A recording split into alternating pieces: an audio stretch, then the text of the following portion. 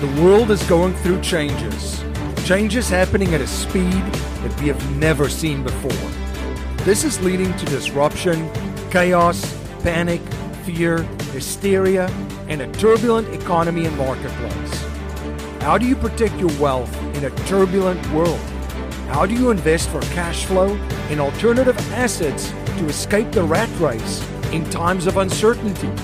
How do you decentralize yourself, your family, your community, your business, and your investments to become sovereign and escape the matrix?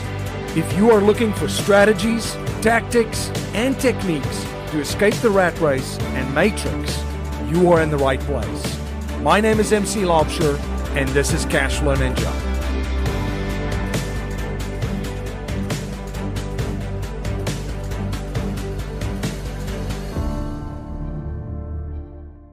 This is Cashflow Ninja. I'm MC Laubscher. Thank you so much for joining me for another episode and spending your most valuable resource, your time, once again with me. Everything Cashflow Ninja is at cashflowninja.com. We've got three shows Cashflow Ninja, Cashflow Investing Secrets, and Reset Investing Secrets. We have a newsletter, the Best Cashflow Niches newsletter, in which we share every single month one brand new, well researched cash flow niche. You can also join our mastermind, Cashflow Nirvana, which was built for business owners and investors that's looking to protect and build wealth during turbulent times. All of this is at cashflowninja.com. I've got a fantastic show for you today. I'm joined by Aubrey Janik, uh, and Aubrey has built a very successful uh, Turo car rental business, and she is going to share more about this incredible way to generate cash flow. Aubrey, it's great to see you. Great to see you. Thank you for having me. Yeah, I've been uh, looking forward to this conversation. Um, very excited to learn more about the world of the Turo car rental business, uh, which uh, you've put out a bunch of great content just around that. But b- before we jump into cash flow and to the Turo car business, can you please share a little bit about your background uh, and your history and and what you're up to? Absolutely. So I um so I've been a car sharing host since 2017. I started car sharing really as a side hustle, like I think most people start doing it. I'd actually owned a, a sandwich shop that I opened years prior. I started dabbling in car sharing like while I owned the sandwich shop, and then the sandwich shop ended up closing. And I was sort of left in this position where I'm like, okay, what do I want to do for the rest of my life? Like, I didn't go to, well, I did go to college, but I dropped out of college. I've always been very entrepreneurial. I really, I, I, think, kind of for the first time in my life, didn't have a game plan of what I wanted to do moving forward. It's like, it, it was, I feel like my entire life, I always had this like plan of like, okay, I'm going to do this by this age, this by this age, so on and so forth. And I was kind of left in this scenario where I'm like, what the heck am I going to do? And so I really started leaning into side hustles. And I, I, love side hustles. I'm a big believer in side hustles. And so around 2018 is whenever I, I started taking Turo more seriously. It's whenever it became from being this thing that I can just do on the side to like, okay, I'm actually going to try to scale this up. And around that time, I was working as a freelancer. I had a, a, consulting job that I was working as well that I still have today. And then I started growing my my car sharing fleet. And you know, over the years, the the car sharing fleet has grown. I started doing YouTube for for fun. It was something I always wanted to do. And I told myself back in 2020, okay, I'm gonna do YouTube. I'm gonna try it for a year, see if I can get to a thousand subscribers. And if I don't, I'm gonna quit. And if I do, I'm gonna keep going. And I ended up getting, I think, to like maybe 50 or 60,000 subscribers that year. So I kept going. And really, you know, over the last couple of years since starting YouTube, it's kind of propelled everything else. It's allowed for me to create courses. I've grown my fleet. I my husband quit his job in 2021 to work for our business full time, so he's my business partner and colleague. And yeah, so now as I sit here today, I, I have a number of different income streams. Turo being definitely the biggest and certainly the one that I talk about the most. And it's been this really incredible journey. Yeah, it's it's great. I mean, it, you're just a perfect example of you never know where life's going to take you. You know, I guess what for me that I could resonate with you once the because I was very regimented and planned too. When you mm-hmm. said like, oh, by this age I'm going to do this, by this age I'm going to do that, I kind of had a similar mindset, and it was it wasn't until all the plans were kind of thrown out the window that really amazing things started to happen, right? I guess, you know, life is a different uh laughs, right? Or the laughs yeah. at you when you when you when you're make when you're making plans. Um so let, us talk a little bit about uh, Turo um, and the car uh, business rental model. So for mm-hmm. folks that have never heard about this, uh, if you can explain kind of just how that works and then why uh well how did you get attracted to this? Why why did you like it? And then why do other people uh get interested in this in this business and in this business model? Absolutely. So car sharing for anybody who doesn't know what it is i always compare it to like an airbnb for cars. It's where you own a, a car you have a car and you're renting it out to your peers or loaning it out to your peers or i guess sharing would be the the technical term sharing it out to your peers in exchange for money it's it's very very similar to like the concept of airbnb with property and so you list your car on Turo. There are requirements like which car you can rent, like what the mileage has to be the year, and so on. But you rent your car out or you list your car out, people find it, they rent it, and you get money. and so I found Turo back in I, I I heard of it in 2017 and it was actually a friend of mine who I was doing some work for me at the time with me at the time. And he had purchased a pretty expensive Mercedes. And he was like, I would have never bought this Mercedes, but I'm going to rent it out on Turo to offset the costs. And at that time, I had heard of Turo, like I had seen it on ads on social media, but truthfully, I thought it was a scam. And so this was the first person that I had known that was actually doing this and it was supposedly working. And at the time, I had a, a, Jeep Wrangler. It was either 2010 or 2011. I can't remember what year, but it was a um, two door Jeep Wrangler. I'd purchased that like a year prior. It was sort of my first adult purchase. And other than like my business at the time, it was like my first adult car purchase. And I hated it. I did not like it. I my dogs hated the car. I didn't really drive it. Instead, I drove my 1997 4Runner, which is still my daily driver today and so after I had heard of, of, my friend doing this with the Mercedes, I was like, you know, I'm gonna put my, put my Jeep on this. And so like that night, I did very little research. I put my Jeep on Turo, and it was rented out within 24 hours. And really after that, it was okay. This is really cool. This is really interesting. I'm gonna stick to that. And within a few months, we ended up getting a second car, and then kind of slowly scaled the fleet from there.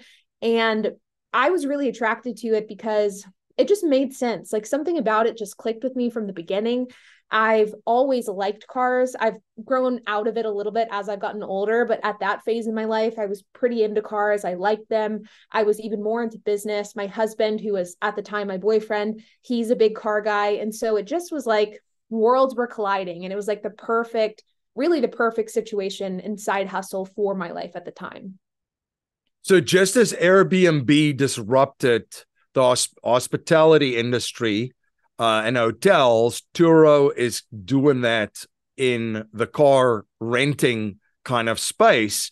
And mm-hmm. there's a lot of similarities, but that you could see. But I mean, you're you're renting this from other people and for a specific period, and and then obviously returning it the same as the home. So um, it's a little bit more of a personal touch and feel. What are some of the other things that you found that people prefer Turo over uh, renting, you know, let's just say just from a regular car rental company?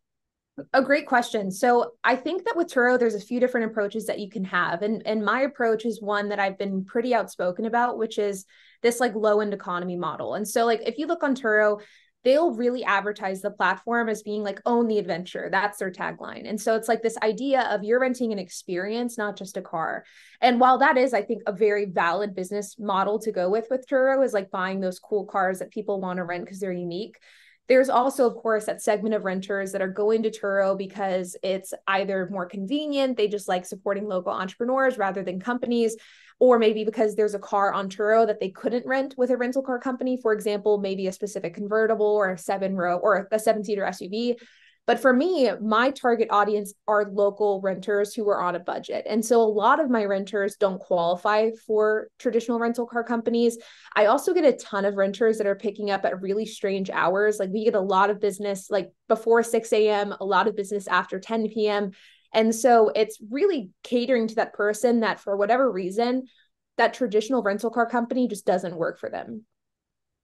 This is a very a very important business lesson you just shared too, and I just wanted to um, reiterate that um, it's so important to know who you are serving and who you are providing a service or a product for. So, as you mentioned, you know exactly yeah. who the people are that's renting uh, your cars on Turo. And uh, just with like any business, uh, it, there's a Nordstrom level, there's a Target level, and there's kind of a Walmart level, and you need to understand. And there's different needs. I'll mm-hmm. give you mm-hmm. an example. There's a friend of mine, and uh, actually my brother-in-law has done this a couple of times too. They want to uh, rent sp- very exclusive cars that's on Turo. That you're not going to find those cars yeah. um, through rental companies. So there's a white glove service element to that too. So that eh, you know at where they're at and the exactly the the, the cars that they're that they're renting uh, the owners of those cars will even meet them at airports. They would drive to airports. They would hand the cars off. I mean, it's white glove. Yes. Um, you know, just with those three examples that I shared, you know, the Nordstrom, the uh, the Target, and the Walmart, they all sell sell shirts. They sell shirts to different people. Everybody buys a shirt from each of those stores for very different reasons, and they all make money selling shirts. Same thing in the in the the car rental space and, and in the Turo space. So you need to under you need to know exactly who the person is that's going to rent that from you and then you're going to understand what they need and why they are choosing to rent from Turo instead of just a just a regular rental company, right? Yeah, a hundred percent. Absolutely agree with you. And and you know, we get um and I post a lot of posts on social media between YouTube, Instagram, TikTok, and there is like this element of, you know, if you're posting on social media, you want people to to, to click and have a conversation. And one of our our like a great way for us to get views on TikTok is to showcase some of our just older, more kind of rundown cars. It's like things like Toyota Yaris is that are maybe a 2011. They're great condition, but they do have a little bit worn out paint. They're not perfect. They're not what you would receive at an Enterprise or a Hertz. And I get asked so often, who is going to rent this car? Like, who's going to rent it? And the question is people that can't afford a regular rental car, people that need a long term rental and they don't want to pay multi thousands of dollars for it, or people that just can't qualify. And for those types of people, you know, a 2011 Toyota Yaris or a 2012 Mazda, those are perfect. And so we have found that a lot of our renters do not qualify for other rental companies. We found a lot of people who just don't want to pay for a newer car. They just don't really care. Yep. And it's it's really these local renters that are are local to our area. They need a car for whatever reason, and we have that for them. I want to take a moment to share something very important right now. Are you trying to figure out how to protect your savings from the banking collapse, which has already started, and the coming financial crisis. Most banks will fail. Deposits that are not insured by the FDIC will be lost, and there will be bank bail ins. And this collapse in the banking system will lead to chaos in the financial system. Banks also provide loans to real estate investors. So, what do you think is going to happen to lending in the event of a banking and a financial crisis. You can be proactive and position your savings to protect it and also have access to it to use it to buy discounted assets by positioning it in your own banking system through the infinite banking concept strategy.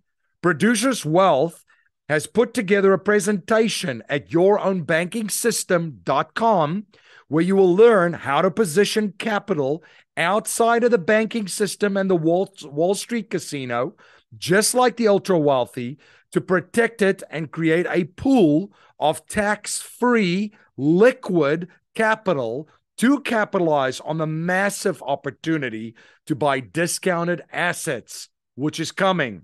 You can access the presentation at yourownbankingsystem.com. That's yourownbankingsystem.com.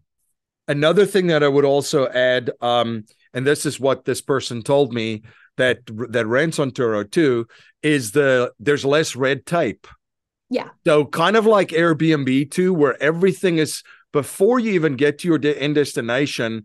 I mean, with Airbnb, by the time you get to your end destination, they give you a code and you go in. Mm-hmm. That's it. There's no hoopla or red tape or waiting and do they even have the car you know yeah. grabbing a seinfeld joke about you took the reservation, you didn't hold the reservation when they were out of a rental car, right?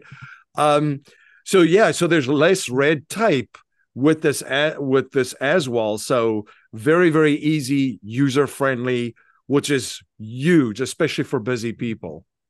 Yeah, I mean, absolutely. And and that experience is going to be quite a bit different depending on who you're renting from. Like to your point, there are a lot of hosts that do give that white glove experience, even on like not super exclusive cars. Like there are hosts that will deliver every single car to the airport. They'll meet every single guest in person. For me, I am not interested in doing that in the slightest. I very, very rarely, if ever, meet guests in person. And what we do is we instead do the remote key exchange like process, which is where we basically have the key at a, in a lockbox. The guests access the lockbox similar to what you do like in an Airbnb, and prior to their rental, they get the code.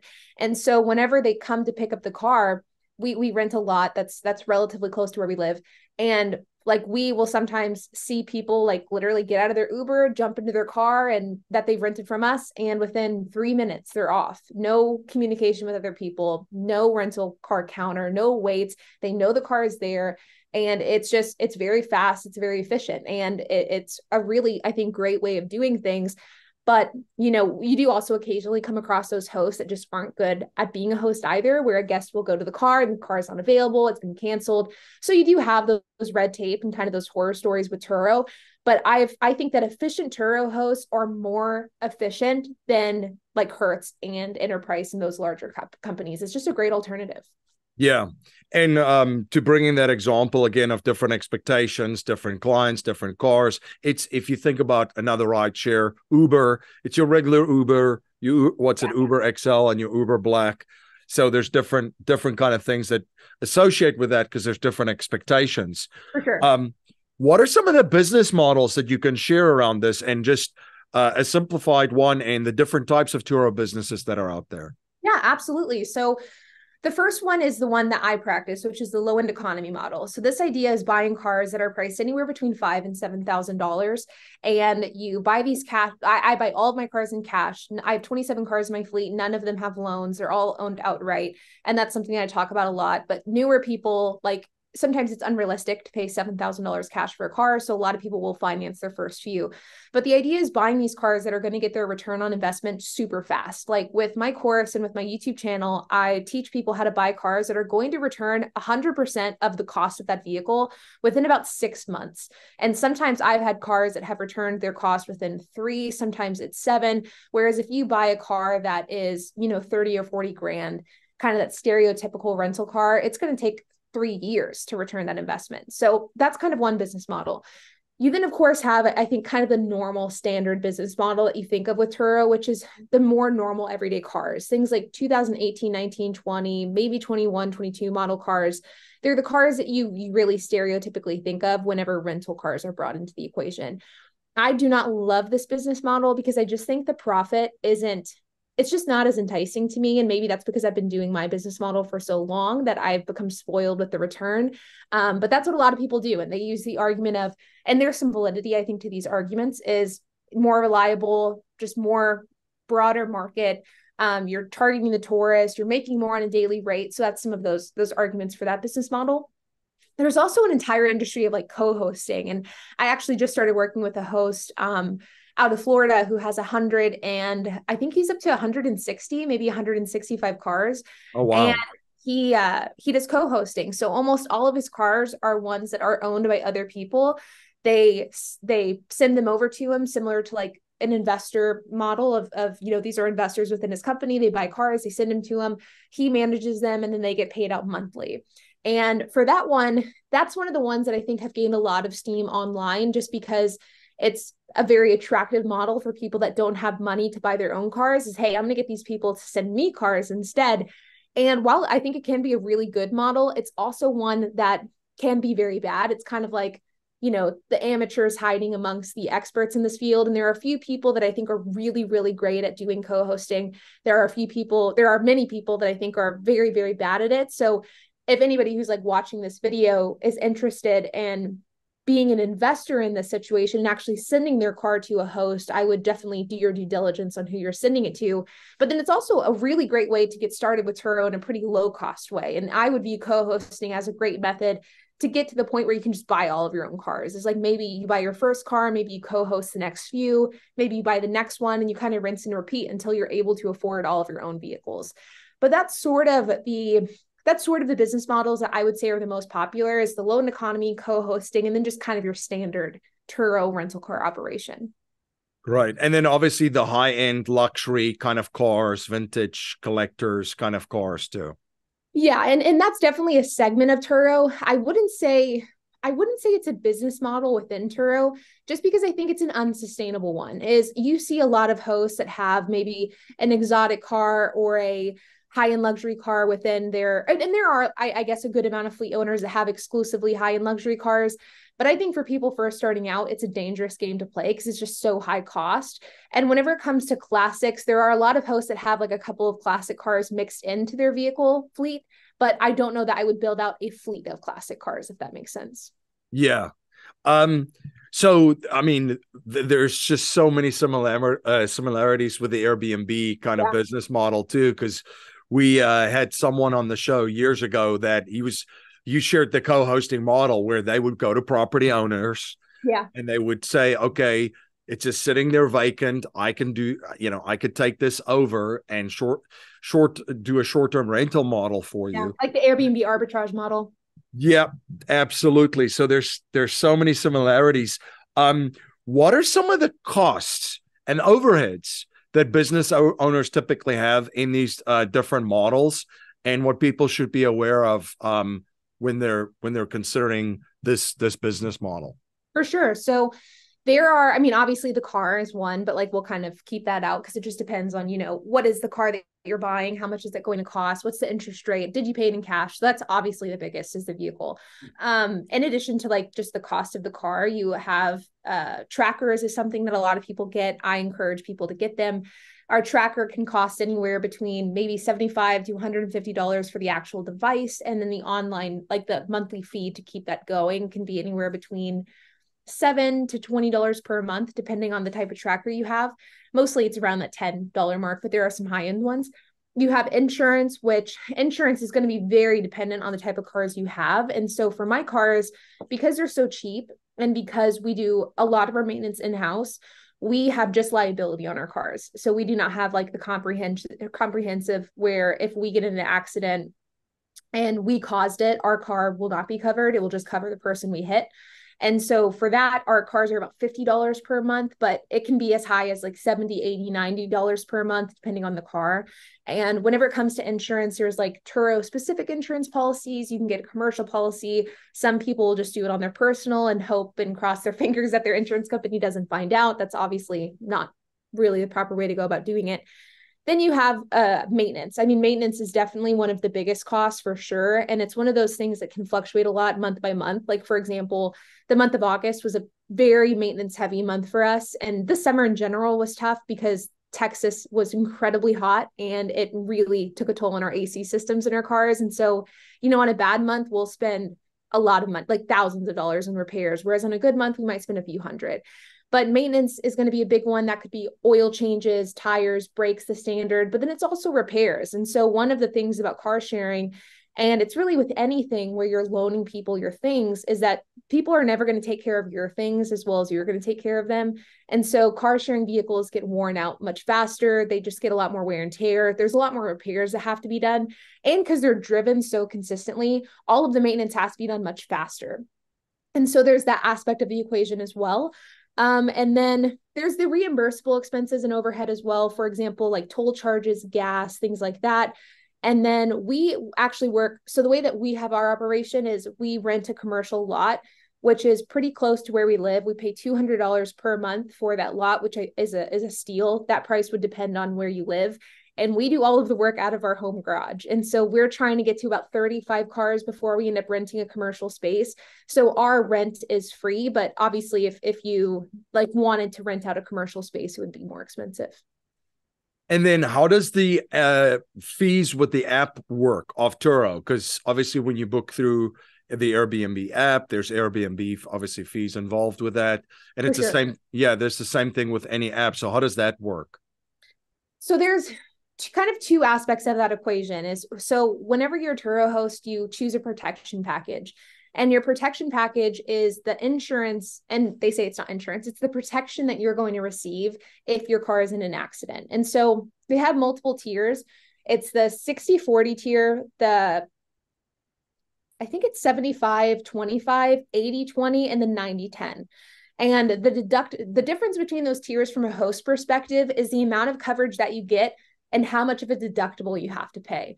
And so, for example, the 90 10 rule, you'll take, or the 90 10 package, you'll keep 90% of the earnings. Turo will keep 10, but you have to pay a $2,500 deductible if your car gets damaged in order to get coverage. So, Turo is not going to step in for any damage claim unless it exceeds 2500 um, for me, I'm on the 80 20 plan. So they keep 20% of everything I earn.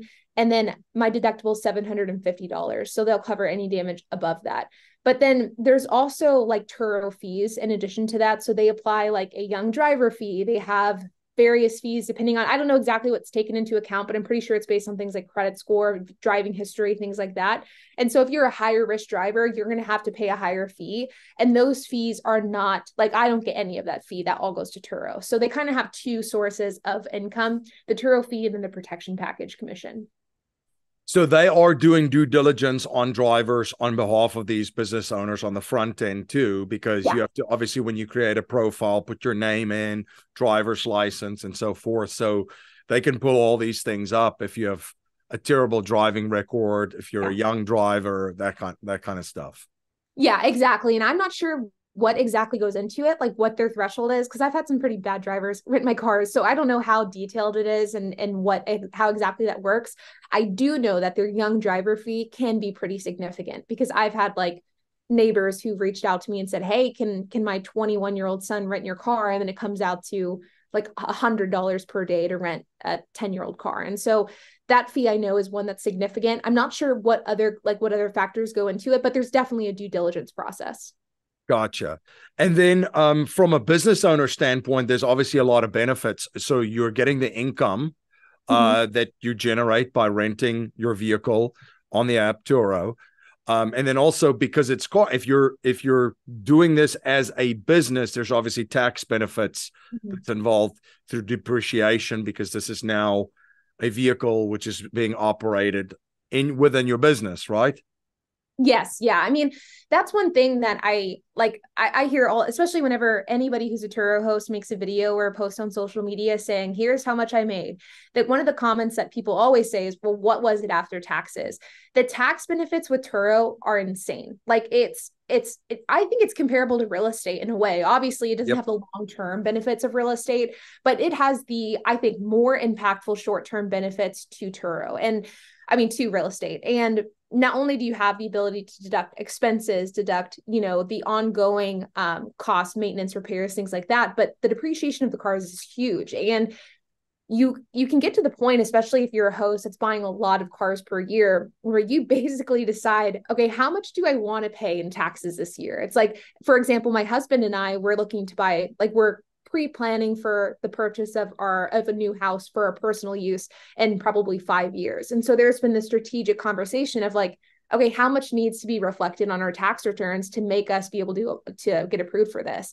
And so there is like that ability of like you have a lot of control and your finances, how much you're going to owe at the end of the tax year. There's just, I mean, there's a ton of benefits. Even if I because I have so many different income streams that even if I didn't want to do Turo, even if I had no use for it anymore, I would continue doing it purely because of a tax perspective. Obviously, that isn't the case. I like Turo and I make good money from it, but the tax benefits are huge. I want to take a moment to recognize one of our sponsors, Penumbra Solutions. Life Settlements investments have allowed financial and banking institutions to not only buy their equity contractually, but also diversify their capital from any economic, market, and geopolitical risk. It's been part of the billion dollar blueprint followed by institutional investors.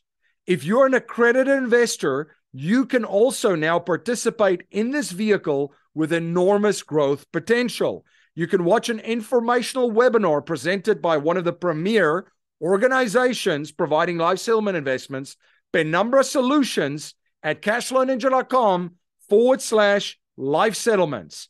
That's cashflowninja.com forward slash life settlements. The password to access that webinar is penumbra, all lowercase. We have a, a, a filter which we use within within our community um, to evaluate deals. And you look at the cash flow, which is great. And obviously you can keep growing that with more cars. The the tax benefits is the second part, which this is great. As you mentioned, you have full you have control over your taxes because this is now goods that you're incorporating in your business providing more value to the marketplace, making more money, and therefore you pay less taxes. That's what I love about the tax code in the United States and all over the world.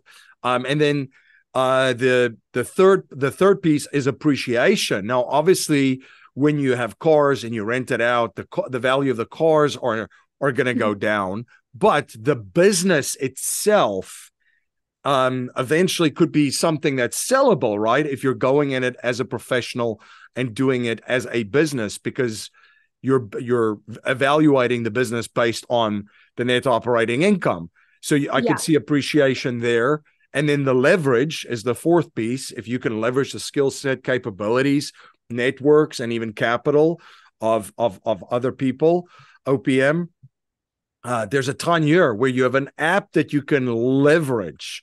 And of course, technology. And yeah, is it true? Is it completely passive? No, but you could set it up that it's semi passive, right? With a lot of technology that you can leverage in place, right? Yeah, for sure. I mean, I agree with everything that you've said. And as far as like the passivity aspect of the equation, I I love the term semi-passive. I think that it's a perfect descriptor of Turo. Is like whenever you look at at Uber and Lyft and all and these types of like kind of cookie cutter side hustles that people can start tomorrow, the huge downside of them is that you only are making money when you work. And so if you're not clocked in, you're not making money. End of story. And obviously with a job, there's that you know aspect of the job where depending on how you you're paid i guess it could be considered similar whereas if you're off you're not making money or maybe you would be if you're making salary. But with turo it's great because your work isn't directly correlated to how much you're going to make. I mean there are some days where we have a lot of cars coming back a lot going out and it's a busy busy day. Um, but there are other days where we have nothing coming back either because you know trip cars are on, on extended rentals or just not coming back that day. We might have a day where we do 45 minutes of work and we're still making the same amount that day. And I think that in the world of side hustles, that's just so rare for somebody to be able to have that type of income, even on a small scale. If you just have one car, having the ability to make this semi passive income, I think is hard to come by. And Turo, I think, is a perfect option for that.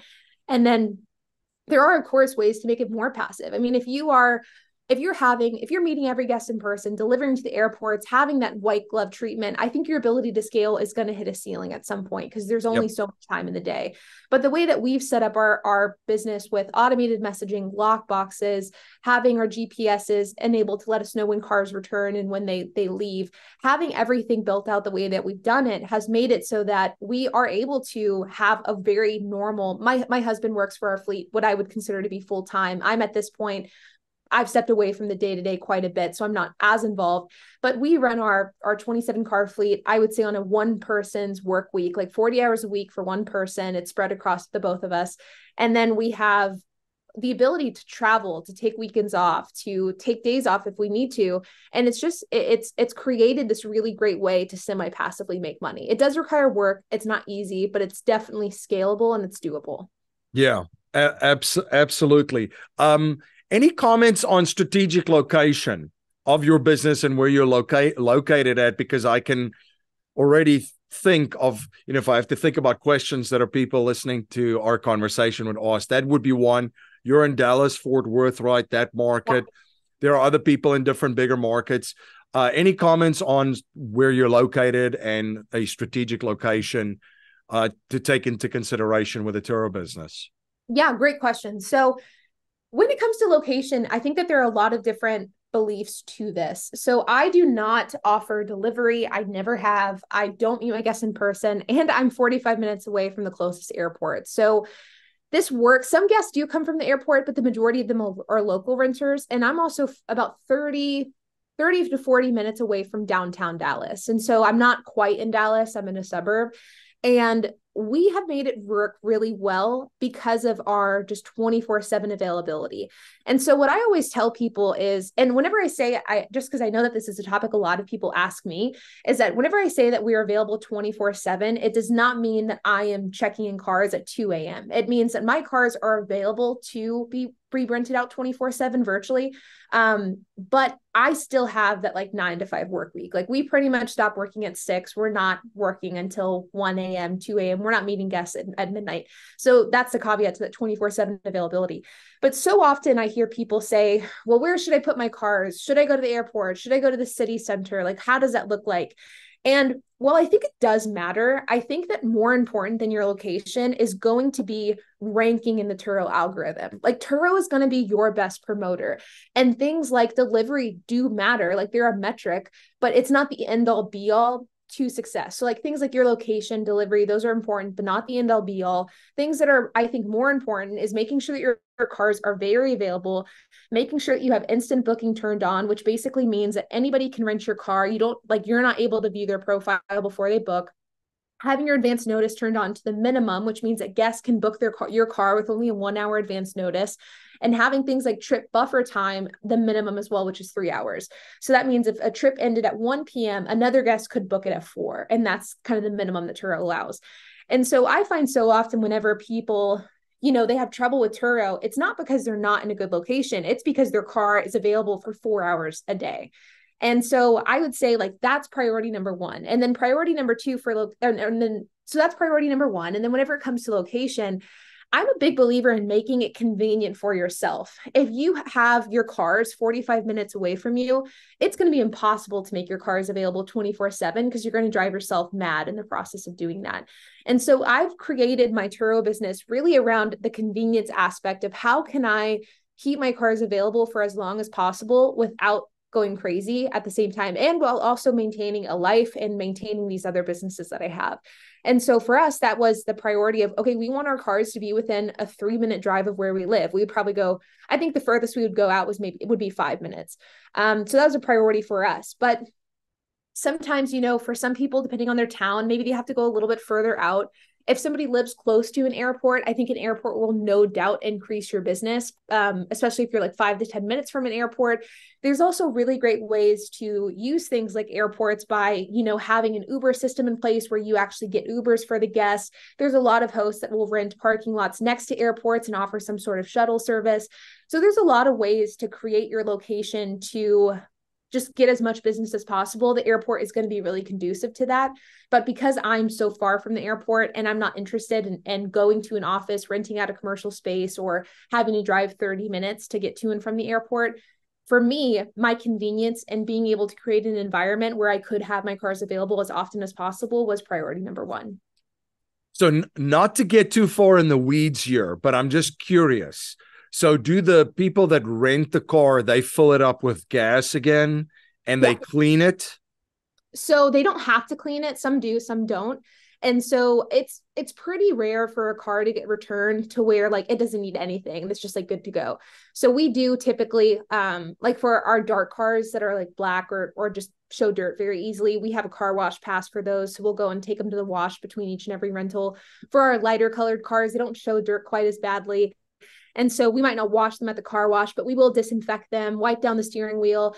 The Turo had a pretty intense COVID protocol during the pandemic where you had to like pretty heavily disinfect the cars. That has gone away, but it's still, you know, good practice to disinfect it. So we'll wipe down the cars, vacuum it, clean the windows, and it probably takes if, if it's just a normal amount of dirt 15 minutes to get a car ready um, but occasionally cars get returned like absolutely trashed at which point it takes like an hour so you can employ, you can uh, get someone from the outside to take care of all of that, right? So you can hire someone to go to the lot to clean cars and take them through the car wash whenever the yeah. cars are being brought in. You could for sure. I mean, I think that one one thing that I caution new Turo hosts is like getting into the weeds of that too early. So yeah. for us, we started our Turo fleet in 2017. I did all of it on my own until 2021 um, where at that point we had about 16 cars, maybe 15, 16. So I managed 15, 16 cars by myself. In 2021, my husband took over. He managed it by himself with like my involvement a little bit here and there when he needed it until we hit 25 cars. And at 25 cars, we hired a part time employee. And so I do think that you can very realistically clean your cars, get them ready while also working a job. I think without the help of an employee, like you're going to have to hustle, but I think that that's the best way to do it because then you can store all the cash and then you can use that to scale your fleet. And then that way, whenever you get to 10 cars, you can really, I think, comfortably hire somebody to help you part time and it's not going to suck cash out of the business quite as much. So, how, uh, what are some of the biggest mistakes you've seen I was going to say, how does this go pear shape? What are some of the biggest mistakes uh, that you've seen uh, Turo hosts and Turo businesses make? Hands down, I think the biggest and the most common mistake is buying the wrong cars at the wrong price. So, one thing that I talk about all the time on my channel is buying cars below market value and buying them at the bottom of the depreciation curve. So, the thought process here, and it, it really works well with my business model of buying older cars, but you can do it with newer cars as well, is the idea here is that you buy cars that have so like a depreciation curve looks like this. So like the first few years, you're going to have a ton of depreciation. They might drop 30% in value. And then the, the depreciation is going to slow down. And then by the time the car is is maybe 10 years old, nine years old, the depreciation is much, much slower. And depending on the car, it might be over. And so what we do is we buy cars that are at the bottom of their depreciation curve, but then we also aim to buy that car about 10% below market value. So if a K, if KBB and just the general value of that car on the market is let's say $7,000, we will want to aim to get that car close to 6,000. So maybe 6,200, 6,300. And this makes it so that not only do we have the ability to rent that car out for a good price, but if the car is totaled, if we have to sell the car, we can do so without losing money. Where people run into a ton of problems is whenever they buy a car at MSRP, below, I mean, at MSRP, above MSRP, which was super common during the pandemic in 2021, whenever car prices were going through the roof, yep. or people buy new model cars and they just appreciate like a rock. I get messages all the time from people. It's it's a weekly occurrence of them saying, "Hey, I joined Turo. I've been on for a year. I was doing well, but my car was totaled and Turo is only paying me out $10,000, but I actually owe 16,000 on the car loan. Like what do I do? Or people that have a car that they they bought, it, it's not performing as well as they thought it would for whatever reason, but they now can't sell it because it's worth 20% less than what they owe. And that's something that is so common. It puts hosts in a horrible situation to where they have to rent their car out for a certain price or else they're not making money. It leaves them with no options if they need to sell the car. And it puts them in a horrible predicament whenever their car gets totaled. And so by buying these below market value cars, you have the ability to price your cars at any price because you're going to be fine no matter what. You have the ability to make a profit if your car gets totaled. And if you need to sell a car, it's not an issue. And whenever people are in this situation where they're severely underwater on cars, it's just a disaster and it's so so common and it's something that I think is very easily avoidable, but it's such a uh, it's such a big mistake. Yeah. Um, and then for people that are interested in starting a Turo business, what are some of the things that you would uh, advise them? These are the things that you should be thinking about. If you're thinking about starting this as a side hustle and growing it into a business, and there might be people in our audience that just want to start a business in yeah. in this space right away. So one is i would i would advise going with that below like buy below market value buy at the bottom of the depreciation curve. This for many cars is like maybe aim to buy a 2011 to 2013 model car.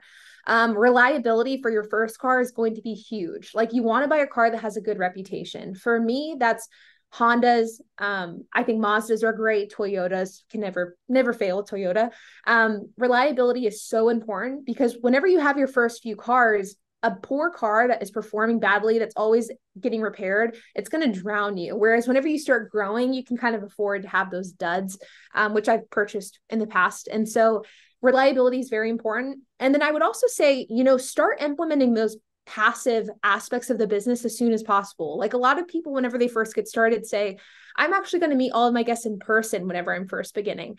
But I actually advise the opposite. I think, you know, start start the business as you would continue the business if you were to scale. So I would recommend doing the remote key exchange process. Like have a lockbox at your car, get used to that series of events. That way as you grow, you can do so much more easily. So that's probably the the top 3 things that I would say.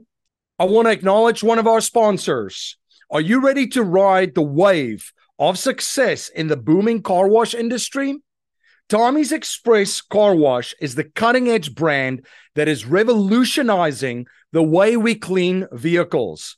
Demand for top notch, state of the art tunnel car wash is skyrocketing. Institutions are diving in head first, and the real asset investor is already a step ahead. They have a world class operations team and they're building a portfolio of Tommy's Express car washes that's on track to become one of the largest privately owned car wash portfolios in the United States. The margins on a stabilized Tommy's Express car wash are incredible, and accredited investors have the chance to join them on their adventure. Dave Zook, the founder and CEO of the Real Asset Investor, and his team are thrilled to share opportunities like Tommy's Car Wash with accredited investors that boost your cash flow, unlocks massive tax benefits, and get you set up for a lucrative exit just a few years from now. To learn more about the opportunities offered by the Real Asset Investor, you can reach out to them at info at therealassetinvestor.com. That's info at therealassetinvestor.com. To your point, if you're starting this up too, you know, here's just kind of my thinking right now, especially at where we're at in the car markets, and we're seeing a lot of stuff coming down. As you mentioned, there was a exuberance in the car market. There was a shortage, right? So there was a massive demand for certain cars, not mm-hmm. a lot of supply prices skyrocket. You had all this money floating around through the currency that was created. So all of a sudden, people had money to spend that drove up the prices a lot. So for folks that are starting it and leveraging and financing cars to for a business like this to scale quickly, they might want to think twice and just have a look at where the economy is at. Um, and then, you know, to your point, um, if you think about it as a business and you have capital to invest in the business, that's great. Uh, go into it under leverage, whether you don't want to be levered to the top with car prices coming down, the economy kind of changing, habits kind of changing, and so forth. So there's a lot of things to just think about, you know, from I would say from that perspective, and then the the response, and I'm already hearing, especially younger listeners saying, well, then how do I get started if I don't have money to get started? You already shared a great idea of this uh, sharing kind of where mm-hmm. you have people that bring you cars and you're the the the person that's renting them out and running the business. Yeah, for sure. And I, I, think that you've hit the nail on the head. And I think whenever it comes to financing, that's where I've I've kind of changed my tune with it over the years. Like whenever I first started my YouTube career, I was adamant about not financing cars um now I've, I've changed because i get it. You know not everybody has a few thousand dollars to spend on finance on buying a car cash so whenever it comes to financing you know pay attention to the rate pay off the loan as fast as possible. I understand the idea of like use other people's money don't pay down debt too fast but if you have a 10 12% interest rate which is the the pretty much the average for used cars right now pay that down as fast as possible. And also maybe look at credit unions. Credit there are credit like the credit union that i work with which is a, a credit union in the dallas area called rbfcu um, they not only fund businesses and personal, but they also fund um, fund purchases private party. And that's, I think, if somebody is looking to finance a car, I would go with a lender that finances private party because you're going to find the best deals private party. You're not going to find them at dealerships. Yeah. And this is great, great advice because there's different parts of the market cycle too economic mm-hmm. market that and so forth so for example, when rates were basically at zero yeah. and they were giving away financing, that would be a pretty good time to finance it and, and yeah. utilize that, right? But now, as you mentioned, you have double digits interest rates just on secondhand cars. Probably you want to you want to have a strategy in place and and be very uh be very aware of. Yeah, um, for sure so this has been great. Um, I really appreciate uh, this information around Turo and Turo businesses.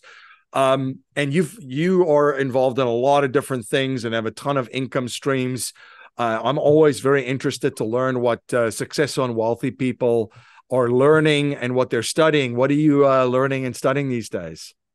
So I probably am not learning and studying as much as I should be, admittedly. Um, I feel like sometimes I get stuck in my own loop of the work I'm doing that I have a hard time veering out and learning new things. One of the biggest things for me right now has been real estate. So I've kind of been viewing Turo as like Turo is my cash flow generator. I understand that cars, uh, they're not a long term investment, even if you buy yep. them at the right price. So we're kind of strategizing our income, like flow of income of okay, Turo's what's going to raise the capital, but the long term plan is real estate. So we've been learning a lot about you know, financing real estate, what path to go down, what types of real estate we want to buy. And I would say, of like the business things that I'm learning actively right now, that's definitely been one of the big focuses. And then, of course, you know, being a YouTuber, I'm always trying to learn new ways to just keep people engaged, create new content. And so I'm, I'm always trying to improve the things that I'm currently working on. But if, as far as new things, real estate would definitely be the biggest. Yeah, great. And like so many very wealthy people and families, they generate their cash, their cash flow in businesses, and then where do they where do they put it eventually? Real estate. Yeah. So um yeah, some very, very good strategy there. Now, one question that I ask all of our first time guests is we talk a lot about business, we talk about cash flow, we talk about investing, but we also talk about uh, a lot about legacy and principles and values. So if you cannot pass on any money to future generations, but you were only allowed to pass on three principles to them, to uh, achieve happiness and, and build wealth, what would they be? That's a good question. Um, so I would say one is is like fiscal education, like learn about finances, or I guess financial education, not fiscal. Financial education is the biggest. I think learn about finances as early as possible. Um, it's something that I'm teaching my nieces. It's something that I've been just throwing down the throats of everybody I know is basically like learn as much as you can as fast as you can and start early. So that's the first one is like be educated, start early. Um, second is is you know work hard is I I think I think having a good work ethic is so incredibly important and i think that it's one of like it's almost like a muscle is you have to like work at it you have to keep being consistent is if you fall into bad habits if you get lazy if you start getting complacent it's going to get harder to get back on your feet and just like keep moving forward. So I'm such a big believer of, you know, have your head down and just work at it. And then I would also say, you know, as I'm approaching my 30s is like don't waste your young years either. Is is you know, it's never too early to start investing into retirement accounts. It's never too early to start saving money. It's never too early to start a business. I think that so many people view, and I think that this is changing here and there, especially with social media, is so many people view their 20s as like the year where they can relax and just kind of go through the motions of going to school, getting their first job, enjoy their life. And while all of that stuff is true, I also have been one of those people that has definitely had the opposite belief of like the 20s are my years to just grind, be super busy, try to do as much as possible because I understand that as I get older and you know as I enter different phases of my life, the the ability to work 12 13 hour days is going to go away. And so using your 20s as a way to really take advantage of that i think is important, especially if you're somebody that wants to be, you know, an extremely wealthy, successful person later on. If you don't want that, then I think that's fine. But if you do, the 20s are in- invaluable. Absolutely. A great setup here. 20s and 30s, and then you're then you're set up. Yeah. So uh this has been a blast. Um Aubrey, where can uh my listeners and viewers, where can they learn more about you? Uh by the way, you're you're putting out great courses, obviously great content. You cannot go on any social media and put in Turo with without coming across their great content. But you have courses, you have resources, and all that stuff. Where can my listeners and viewers uh, stay in touch and follow you and learn all about uh, Turo businesses? Yeah, for sure. So my course is the car sharing masterclass. You can find it at the carsharingmasterclass.com. Um, I also have a YouTube channel. I actually have two of them. I have a vlog channel and a regular channel. The regular channel is just my name, Aubrey Janik. So A U B R E Y J A N I K. My vlog channel is Aubrey MHP. It's one I do with my husband. Um, and it's just kind of going through the day to day of like how we manage our fleet. And then my Instagram and TikTok is aubrey.janik. And it's more of the same type of content. Awesome. Well, thank you so much for spending some time with us and coming on the show and sharing your knowledge and your insights and just providing so much value for all of my listeners and viewers. Of course. Thank you for having me. It was a blast. Thank you to our listeners and viewers for spending your most valuable resource, your time, once again uh, with me on the Cashflow Ninja. Everything Cashflow Ninja is at cashflowninja.com, cashflowninja.com Until next time, live infinitely. This presentation is for educational and informational purposes only. The information being presented and considered does not consider your particular financial objectives or situation, and it does not make personalized recommendations. This material is not intended to replace the advice of a qualified tax and legal advisor or other qualified professionals, and you should not use the information in place a customized consultation with a licensed professional regarding your specific personal financial objectives, situation, and needs. We believe the information provided is reliable, but we do not guarantee its accuracy, timeliness, or completeness.